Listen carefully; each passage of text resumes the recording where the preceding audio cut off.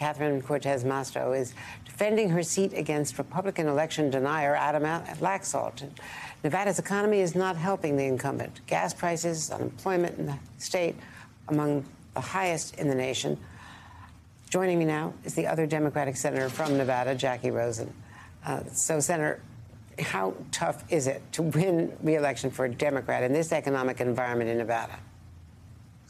Well, I think that, uh, first of all, I want to say thank you for having me. We are currently in the last day of early vote. I want to get that out there right away. You can early vote uh, today, through today. You can register today and vote. You can mail in your ballot, drop off your ballot, and you, we still have same day registration. You can do that as well on Tuesday. But let me talk about the state of the race here in Nevada.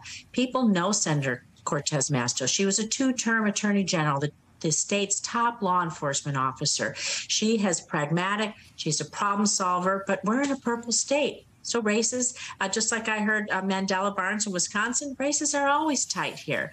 Uh, we're a battleground state. We know what we have to do. We're turning out the vote. Catherine uh, is really known well around the state, and I think that she's going to come out victorious. You know, you've got, of course, the the casino workers. You've got a very large Latino vote. Harry Reid is not there. With, of course, uh, sadly he's passed.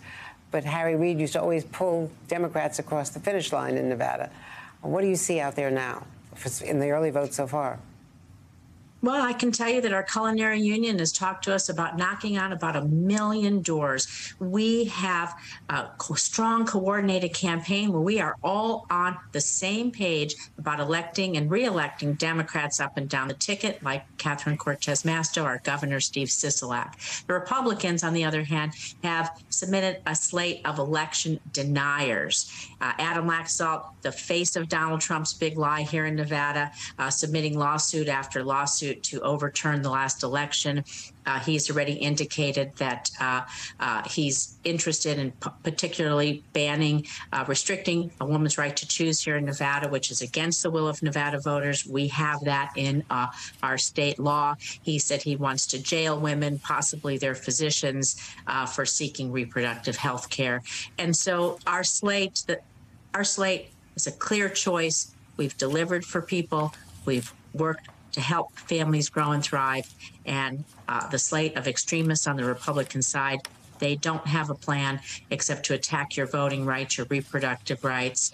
Uh, we can go down and down the list. They even want to uh, uh decertify uh, the 2020 election. Senator Jacky Rosen, thanks so much for being with us today.